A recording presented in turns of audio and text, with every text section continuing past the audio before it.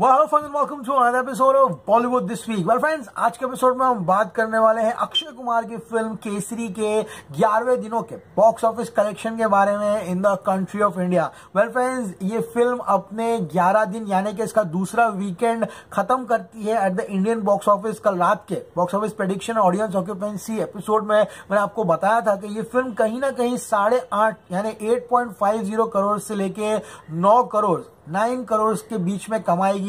लेकिन एक शर्त भी रखी थी मैंने कि अगर ये फ़िल्म ज़बरदस्त ऑक्यूपेंसी के साथ चलती है डिस्पाइट द मैच क्योंकि रात की ऑक्यूपेंसी मैंने आपको बताई थी, सिर्फ़ 60 परसेंट थी, जबकि दोपहर की ऑक्यूपेंसी 75 परसेंट थी कई कई जगह हाउसफुल थी, तब ये फ़िल्म आराम से 10 करोड़ भी टच कर सकती है, लेकिन अनफॉर्चुनेटली रात का मैच इतना इंटरेस्टिंग हो गया, इतना रोमांच पूर्वक हो गया कि लोगों ने घर पे रहना पसंद किया। इसी का कारण था मेरे प्रेडिक्शन से 25 लाख कम आए हैं और केसरी ने अपने ग्यारहवें दिन 8.25 करोड़ की कमाई की है। यस, मेरा भाई, आठ दशमलव पच्चीस करोड़ रुपए कमाकर इस फ़िल्म ने अपने ग्यारहवें दिन का जो टोटल है, उसको 125.01 करोड़ के पार लेकर गया है। This film has perform ex extremely well extremely surprising बहुत ही बेस्ट बिज़नेस किया है इस फ़िल्म ने। अपने दूसरे वीकेंड में सबको सरप्राइज़ सबको चौंका दिया है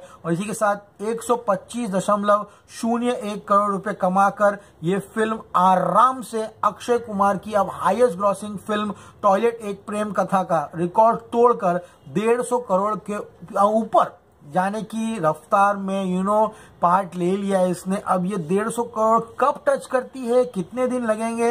वेल फ्रेंड्स ये आने वाले हफ़्ते हमें क्लियर कर देंगे। लेकिन इतना गारंटी है कि अब ये फ़िल्म 150 टच करने के बहुत नज़दीक है। एकदम कागार पे बोल सकता हूँ। सो गाइस कितने एक्साइटेड है आप? Akshay Kumar got touch 150 crore at the Indian box office huge achievement for is illustrious career बताइए कमेंट सेक्शन में। एपिसोड पसंद है प्लीज़ चैनल को लाइक कीजिए शेयर कीजिए सब्सक्राइब कीजिए। Signing off you gonna see me very soon till then as always say stay cool man